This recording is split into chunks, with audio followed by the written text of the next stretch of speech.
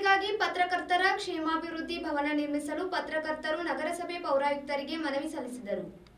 ರಬಕವಿ ಬನಹಟ್ಟಿಯ ನಗರಸಭೆ ವ್ಯಾಪ್ತಿಯಲ್ಲಿ ಪತ್ರಕರ್ತರಾಗಿ ಪತ್ರಕರ್ತರ ಕ್ಷೇಮಾಭಿವೃದ್ಧಿ ಭವನ ನಿರ್ಮಿಸಲು ಮನವಿಯ ಪತ್ರವನ್ನು ಪತ್ರಕರ್ತರು ಪೌರಾಯುಕ್ತರಿಗೆ ಸಲ್ಲಿಸಿದರು. ಬಾಗಲಕೋಟ್ ಜಿಲ್ಲೆ ರಬಕವಿ ಬನಹಟ್ಟಿ ನಗರದಲ್ಲಿ ಇಂದು ನಗರಸಭೆ ಪೌರಾಯುಕ್ತರಿಗೆ ಪತ್ರಕರ್ತರಿಗಾಗಿ ಪತ್ರಕರ್ತರ ಕ್ಷೇಮಾಭಿವೃದ್ಧಿ ಭವನ ಅವಶ್ಯಕವಾಗಿದೆ.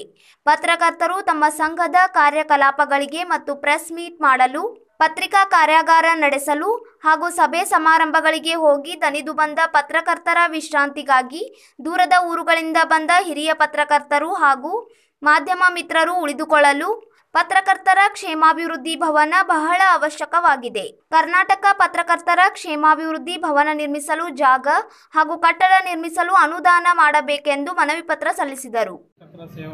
ಕ್ಷೇಮಾಭಿವೃದ್ಧಿ ಸಂಘ ಬೆಂಗಳೂರು ಶಾಖೆ ಅವರು ನಮ್ಮ ಕಾರ್ಯಾಲಯಕ್ಕೆ ಒಂದು ಮನವಿ ಕೊಟ್ಟು ನಮ್ಮ ನಗರಸಭೆ ವ್ಯಾಪ್ತಿಯಲ್ಲಿ ಒಂದು ಏನಂದ್ರೆ ಪತ್ರಕರ್ತರ ಕ್ಷೇಮಾಭಿವೃದ್ಧಿ ಭವನಕ್ಕೆ ಮತ್ತು ಪತ್ರಕರ್ತರಿಗೆ ಒಂದು ಆರ್ಥಿಕ ಸಹಾಯ ಮಾಡುವ ನಿಟ್ಟಿನಲ್ಲಿ ಬಜೆಟ್ನೊಳಗೆ ತಾವು ಅನುದಾನವನ್ನು ಕಾಯ್ದಿರಿಸಬೇಕು ಅಂತೇಳಿ ಒಂದು ಏನು ಮನವಿ ಕೊಟ್ಟಿದ್ದೀರಿ ನೀವು.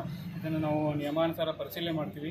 ನಮ್ಮ ನಗರ ಸ್ಥಳೀಯ ಸಂಸ್ಥೆಯ ನಮ್ಮ ಅಧ್ಯಕ್ಷರು ಹಾಗೂ ಸರ್ವ ಸದಸ್ಯರು ಗಮನಕ್ಕೆ ತಗೊಂಡು ಬಂದು ಸಾಮಾನ್ಯ ಸಭೆಯಲ್ಲಿ ಮಂಡಿಸಿ ಇದಕ್ಕೆ ಏನು ಕ್ರಮ ಕೈಗೊಳ್ಳಬೇಕು ಅನ್ನೋದ್ರ ಬಗ್ಗೆ ನಾವು ಒಂದು ಕುಲಂಕುಷವಾಗಿ ನಿಯಮಾನುಸಾರ ಪರಿಶೀಲನೆ ಮಾಡಿ ಒಂದು ಕ್ರಮ ಕೈಗೊಳ್ತೀವಿ ಇದನ್ನು ನಾನು ಅವರು ಅವರು ಗಮನಕ್ಕೆ ತೊಗೊಂಡು ಬಂದು ಮಾಡಬೇಕಾಗ್ತೈತಿ. ಯಾಕಂದ್ರೆ ನನ್ನ ಅಧಿಕಾರ ವ್ಯಾಪ್ತಿಯೊಳಗೆ ಬರೋದಿಲ್ಲ ಎಲ್ಲರೂ ಸೇರಿ ನಮ್ಮ ನಾವು ಬಜೆಟ್ ಇರುವುದರಿಂದ ನಮ್ಮ ನಗರಸಭೆ ಸರ್ವ ಸದಸ್ಯರದು ಅಭಿಪ್ರಾಯ ಇದಕ್ಕೆ ಬೇಕಾಗ್ತೈತಿ.